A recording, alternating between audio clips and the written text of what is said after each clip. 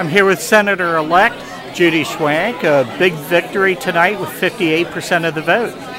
That's incredible. Um, I can't tell you how thankful I am to all the folks who came out and supported me, the folks who volunteered. Um, everywhere I turned around, individuals from labor, individuals from the county party, Republicans, independents, people were volunteering and saying, how can I help?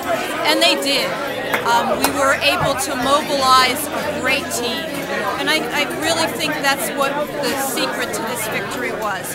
Perhaps Senator O'Pake was looking down and helping us too. I, I would imagine, like to think so. I'd imagine he's smiling tonight. I, I would hope he is. I, I think he would not have been happy to see a Republican take the seat. Okay. Well, you ran a very good campaign. It was very Thank you. successful.